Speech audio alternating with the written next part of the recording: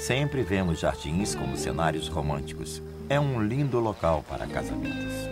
Perfumes projetados para atrair o parceiro usam fragrância de flores.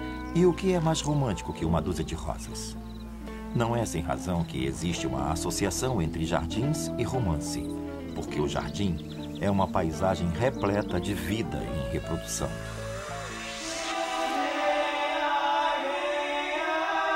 O mundo secreto dos jardins.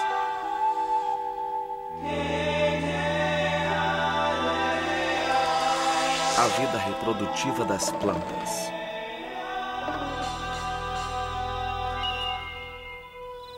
Distribuição Sinapse.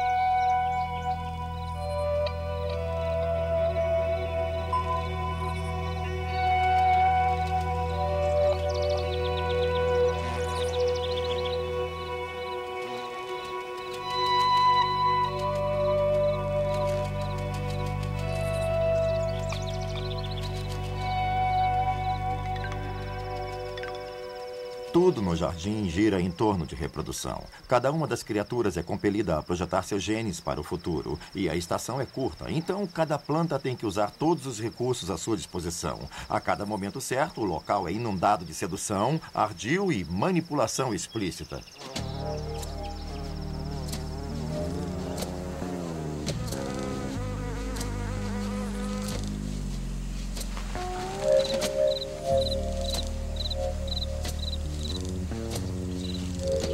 Plantas precisam se unir para que a reprodução aconteça. Diferentemente dos humanos, não podem se deslocar para conhecer o parceiro. Estão fadadas a um local. Por isso, a única maneira de acontecer a reprodução é ter um terceiro envolvido. Assim, as plantas incitam criaturas como insetos e pássaros a ajudá-las nessa reprodução. Num determinado dia, em seu jardim, duas diferentes flores e um inseto intermediário se unem em um trabalho de reprodução a três. Quando o abelhão se adianta em direção à lobelia azul em busca de néctar, um pequeno braço desce e pincela pólen em suas costas. A flor espertamente deixa o pólen num ponto bem ao alcance do abelhão para que ele o recolha antes de ir para a próxima flor para depositar sua carga.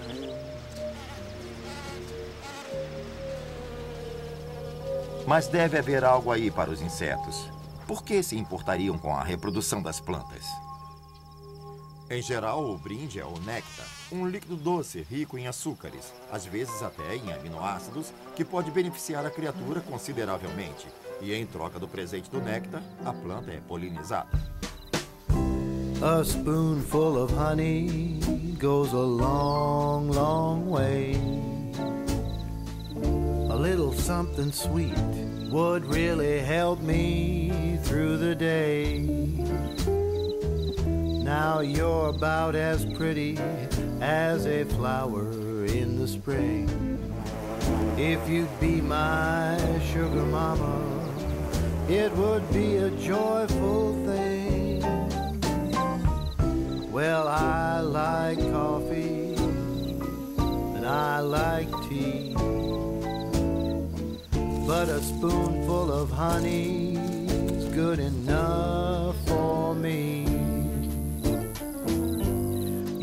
like sugar, so refined. I want you to be mine.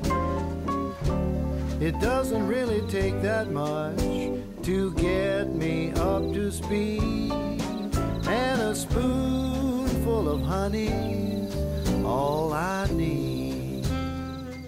Mas se uma planta depende de outra criatura para fazer o trabalho, ela tem que usar um certo exibicionismo, porque precisa atrair essas criaturas.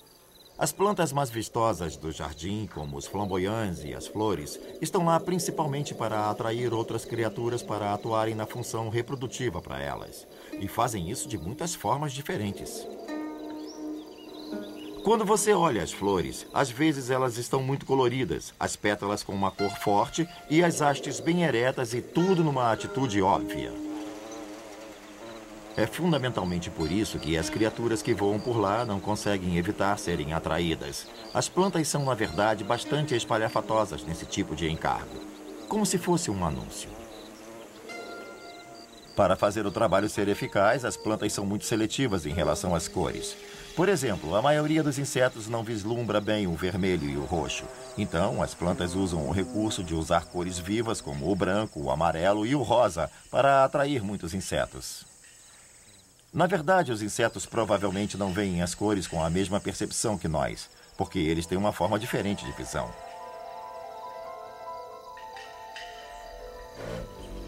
Outras flores têm cores que não são particularmente atrativas para insetos, em geral, vermelho vivo. Os vermelhos atraem outras criaturas, como beija-flores, que têm muito maior percepção dessa cor.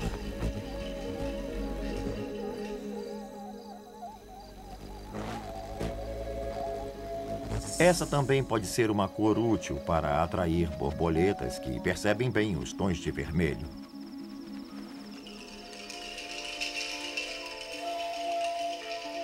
Não apenas as flores usam as cores do flamboyant, como também as usam de formas específicas. Em geral, tem mais de uma nas pétalas.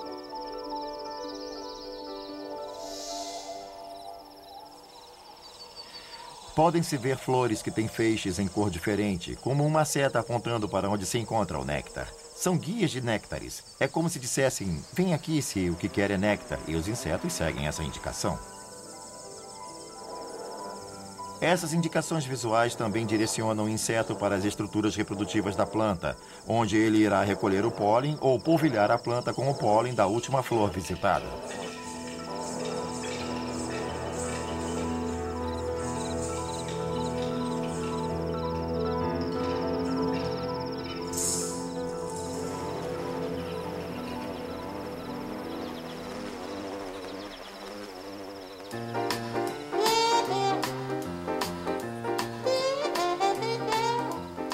Quando olhamos uma flor, pensamos nela apenas como um agente de beleza, um símbolo de graça e charme, mas na verdade são puramente objetos reprodutivos.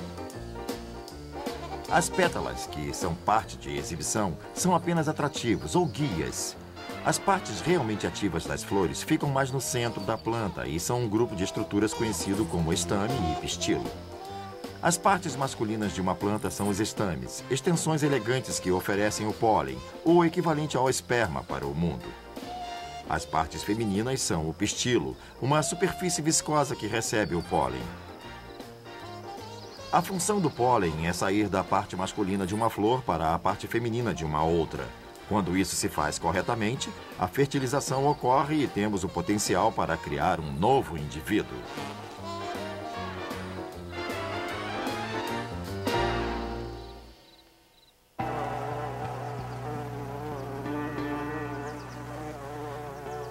Para que a transferência do pólen se dê eficazmente, muitas plantas tendem a viver em colônias, isto é, grandes grupos da mesma espécie, e florescem praticamente ao mesmo tempo. No jardim, o melhor procedimento é plantá-las em blocos, para que tenham uma grande colônia da mesma espécie e para que, quando o polinizador chegar, vá de uma flor a outra do mesmo tipo de planta, evitando que transfira o pólen para espécies diferentes, garantindo assim a eficiência.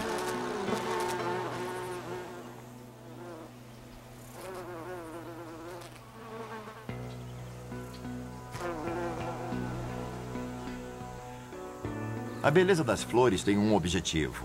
Suas cores vivas, formas exóticas e fragrâncias fortes existem por uma razão e apenas esta: atrair outras criaturas para participar de sua reprodução. Muitas flores são grandes demais em relação às suas estruturas sexuais porque fazem questão de serem vistas à distância.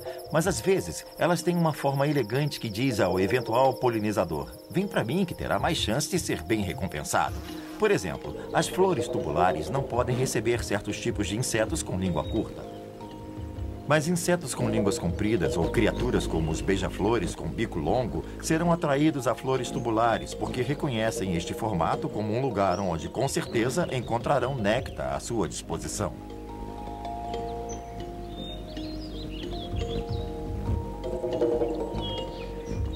No meio do verão, no auge da estação de crescimento em que a competição acirra, há uma grande disputa de florescimento.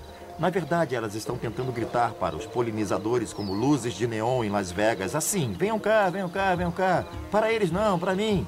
Elas precisam competir produzindo mais néctar, exibindo bastante suas cores, formas e fragrâncias exóticas e etc., porque o objetivo é chamar a atenção de um número limitado de polinizadores.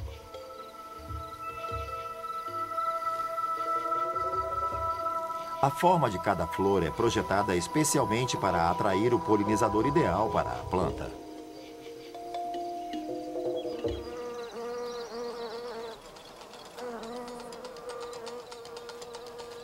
As plantas querem o polinizador certo. Elas projetam suas formas, tamanhos e perfumes para atrair os escolhidos e afastar os penetras.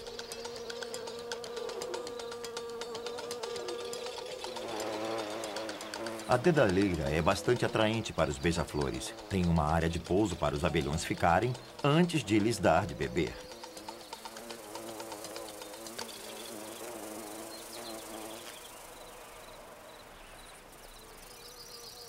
Outras flores são especialistas em usar borboletas como polinizadoras. Uma das coisas que distinguem uma borboleta de outros tipos de inseto é que ela tem uma língua comprida, uma probóscide, que pode penetrar nos nectários de uma flor, alcançando a longa corola tubular que outros insetos não conseguem facilmente. E em cada prova do líquido doce, ela fica polvilhada com pólen, que a planta espera que seja levada a uma outra próxima.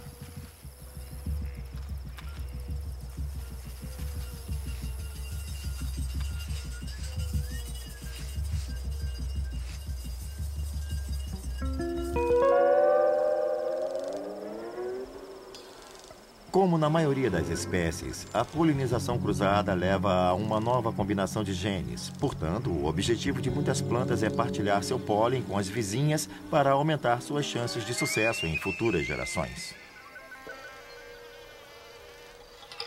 O nome do jogo é sobrevivência. E vínculos bem fortes se desenvolvem entre plantas e insetos na tentativa de sobreviverem no competitivo mercado do jardim.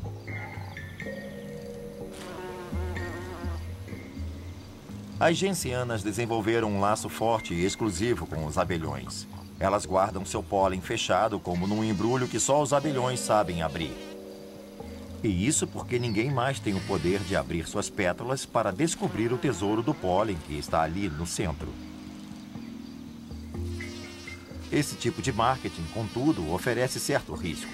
Se a população de abelhões for baixa ou se houver muitas outras fontes de néctar disponíveis, a planta pode se trancar e nunca mais disponibilizar pólen. Isto é, ela não passará seus genes para a próxima geração.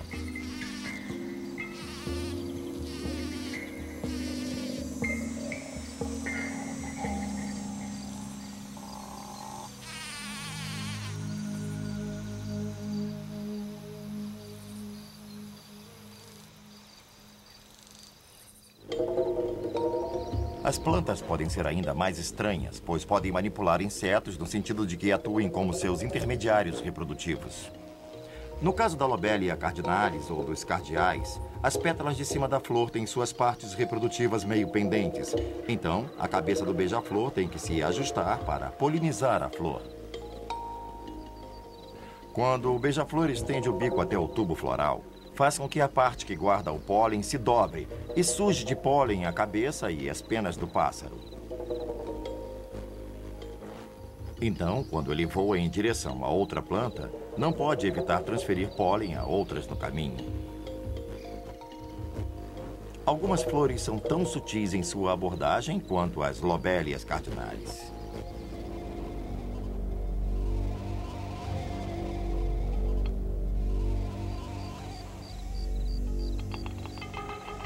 As asclépias têm flores bonitas que parecem orquídeas em cachos e atraem uma grande variedade de insetos polinizadores.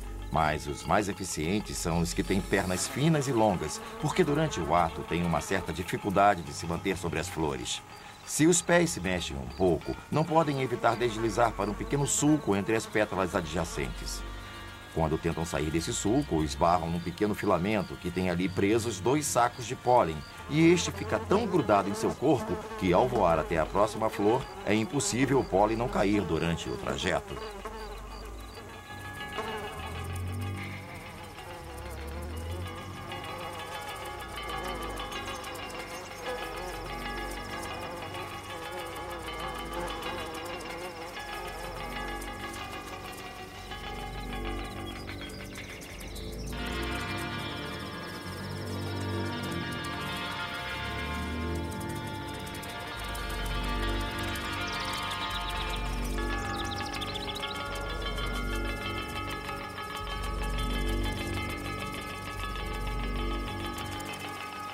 Os esquemas de polinização de plantas não são a prova de tolos. Às vezes, insetos fazem trapaças e roubam o pólen a seu próprio modo.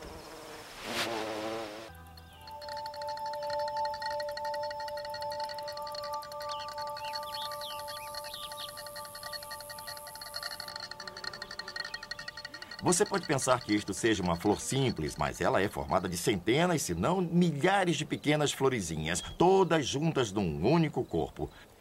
Deve haver alguma vantagem em se unir em grande número assim, porque essas composições se tornaram extremamente comuns, estão espalhadas por todo o planeta. E se você olhar bem de perto essas flores nos canteiros, verá que estão cobertas de polinizadores que lentamente trabalham em torno delas, alimentando-se do néctar de cada uma e recolhendo pólen pelo caminho.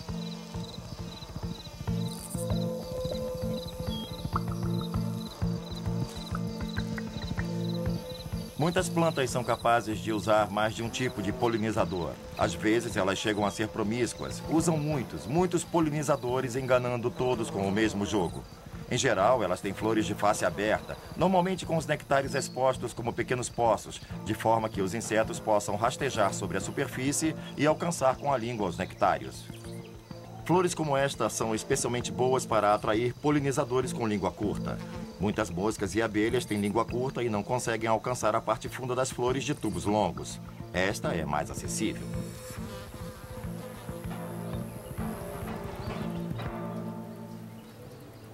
Mas isso também significa que essas plantas têm longo tempo de florescimento, isto é, há um processo contínuo em andamento, talvez de seis semanas. Quando você olha um canteiro de margaridas amarelas, por exemplo, diferentes partes da flor estarão florescendo em épocas diferentes. Mas é certo que, em algum momento, a planta será polinizada, porque há uma razão para abelhas e moscas voltarem lá durante muitas semanas seguidas.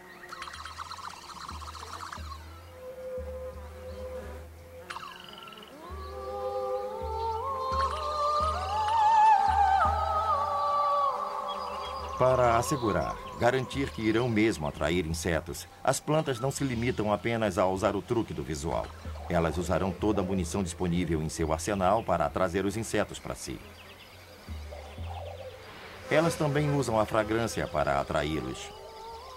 Cheiros doces e perfumados, compostos voláteis que se dispersam facilmente na atmosfera e podem chamar a atenção de insetos em áreas abertas. Esses aromas suaves são uma forma de se anunciar. Elas estão dizendo: se vier a fonte deste aroma, ganhará o néctar.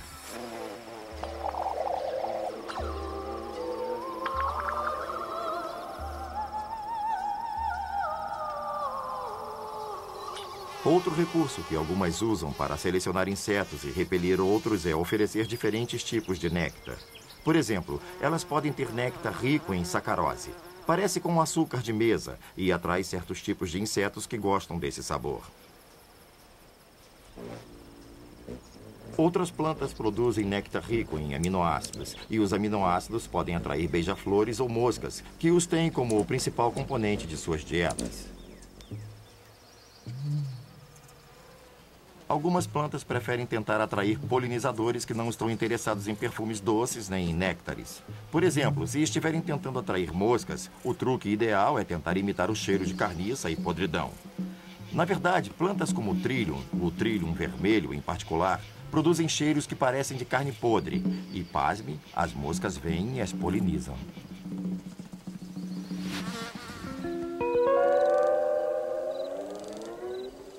Nem todas as plantas, claro, produzem flores. Aliás, plantas mais primitivas, e muitas delas existem até hoje, simplesmente não se reproduzem com pólen.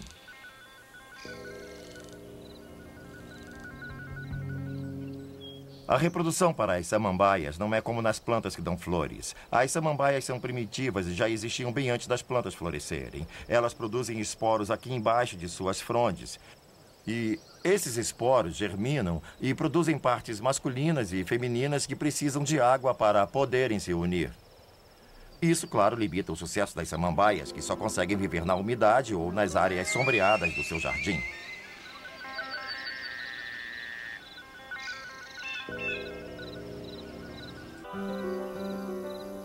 Plantas geralmente caem em duas categorias, anuais e perenes. As anuais são plantas que completam o ciclo de vida inteiro numa estação de crescimento. Significa que tem que crescer como loucas, produzir o máximo de sementes possível e morrer. As perenes têm que percorrer um outro caminho. Elas vão querer medir sua energia e nutrientes por anos. A cada ano vão florescer, produzir um grande número de sementes, se puderem, e guardar o suficiente para que vivam um inverno e possam fazer todo esse processo novamente.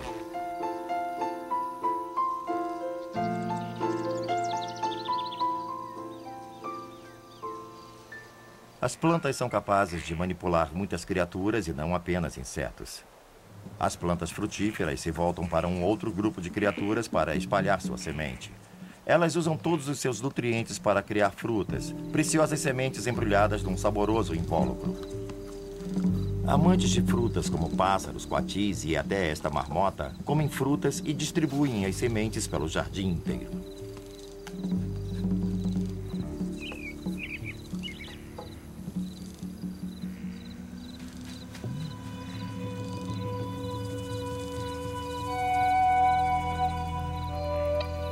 Beleza das samambaias e das flores enfraquece, algumas plantas resistem por mais uma estação.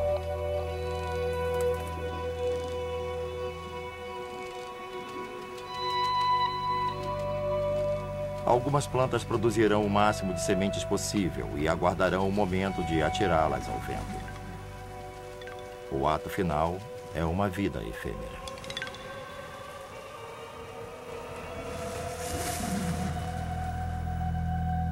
Versão brasileira Animavox.